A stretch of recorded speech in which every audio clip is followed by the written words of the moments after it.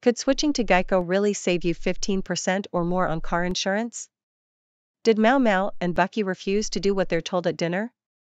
Thanks for inviting me for dinner, Serena Murphy. I appreciate it, Fox McCloud.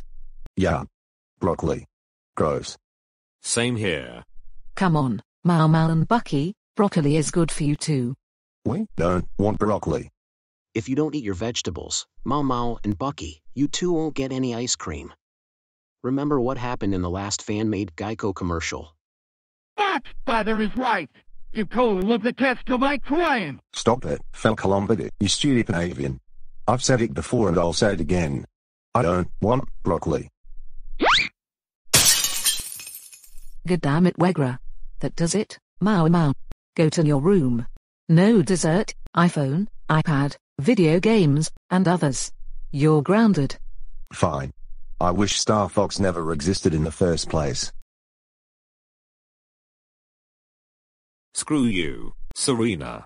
I second that motion to have Star Fox not exist in the first place. Odd's mother. Bucky hit me. Bucky, you stupid Bronco. For hitting my son, you are going to your room where Mao Mao is. No dessert, technology, and more. You're grounded as well. Now go. And if you keep this up, you're not coming to our house as well. But Mr. and Mrs. McCloud. You heard what Mr. McCloud said, go to your room or you and Mao Mao are grounded even longer. Okay then. Geico. 15 minutes could save you 15% or more on car insurance.